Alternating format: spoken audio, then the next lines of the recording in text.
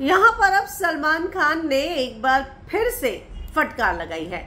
सलमान ने मनारा से कहा है कि कोई तुम स्पॉइल्ड चाइल्ड नहीं हो और कब तक सिर्फ़ हम देते जाए, देते जाओ देते जाओ और तुम लेती जाओ लेती जाओ लेती जाओ। यानी कि ऐसा कौन सा रिश्ते में होता है कि जहाँ सिर्फ़ सामने वाला देता जाए और एक लेता जाए? तो ये बात जो है, सलमान ने साफ़ साफ़ कही है कि जो चीज़ें तुम कर रही हो वो बहुत ही ज़्यादा गलत है। रिश्ते में सिर्फ़ लेना नहीं होता है, कई बार देना भी होता है। और इसी को लेकर अब सलमान मनारा को फटकार लगाते नज़र आए। मैं आपको दिखाती हूँ कि सलमान ने साफ़ कहा है, मुनव्वर, क्या अपने आप को महान दिखाने की कोशिश कर रहे हो तुम? तुम चाहते क्या हो? तुम अपना क्या दिखाना चाह रहे हो? कि कुछ भी चीज़ें हो जाए, तुम्हें फ़र्क नहीं पड़ता क्या?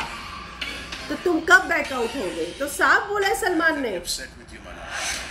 नहीं आपको तो आपको दिखाना है कि भाई मेरे में कितने पेशेंस हैं। या आपका कोई ईगो ट्रिप चल रहा है कि एक दिन ये समझ जाएगी कि वो नल्ला है और मैं खरा हूँ। इसके दिमाग में कुछ नहीं आएगा। ये खुद गेम खेल रही है।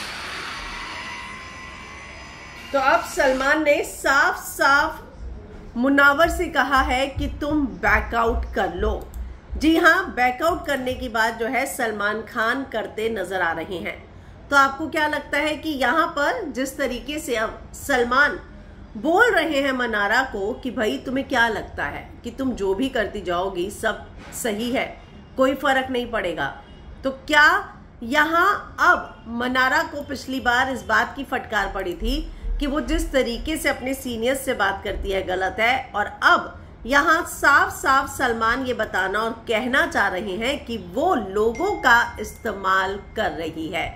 आप क्या कहेंगे इस पर? कमेंट में अपनी राय लिखकर ज़रूर बताएँ, लेकिन उससे पहले हमारे चैनल को सब्सक्राइब करना ना भूलें।